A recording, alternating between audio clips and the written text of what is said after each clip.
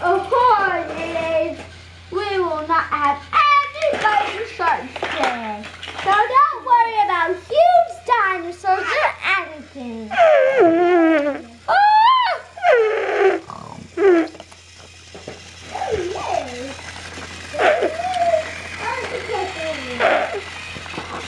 Hi, Mr. Elephant. I think we should get off this train track pretty quick soon. Uh, I think there's gonna be a train coming. Nonsense! There is no such thing as trains.